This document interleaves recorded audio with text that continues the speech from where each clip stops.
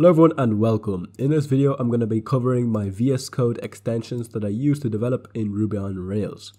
This has been quite a highly requested topic, so without further ado let's get started. So I'll go to my extensions and the first one that I have is called ERB Formatter. And what this one does is that if I go to a file, let's go to a views lay or posts index.html.erb and let's say that I tab all this over a little bit then I hit save it's going to automatically neaten it up. And so I just put this link a little bit over to the right and then I hit save. This is going to automatically bring that link back here. Note that it doesn't work on comments, but I find this extension to be really, really useful just to make the file look a little bit neater. It doesn't look perfect, but it looks neater.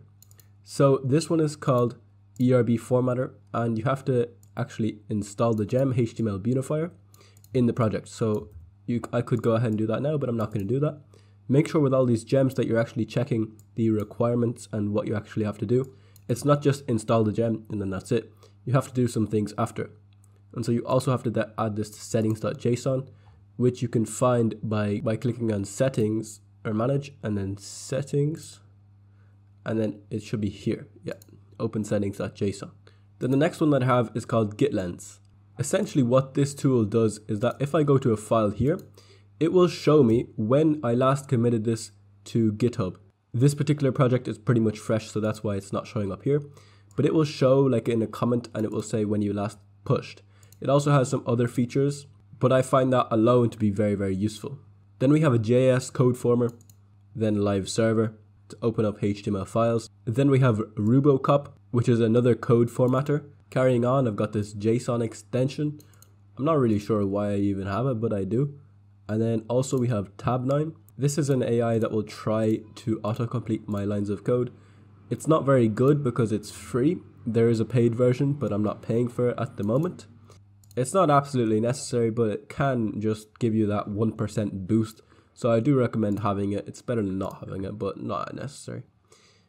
And then we have this extension and then a Ruby extension. There is another Ruby extension that has like 3 million downloads, but it was deprecated, so this is the new one. And it's by Shopify, and I find it to be pretty decent. It just highlights your code and also is a formatter as well. That concludes all of the extensions that I use to develop with Ruby on Rails. If you found this video helpful, make sure to give it a thumbs up and like it. If you would like someone to help you and guide you along the journey of learning Ruby on Rails, then you might be interested in my mentorship program. The link is in the description and I find that the people that I help are actually able to grasp this framework much quicker than if I were not there, so the money is very well spent. Again, thank you for watching and if you like this video give it a thumbs up, subscribe and I'll see you in the next one.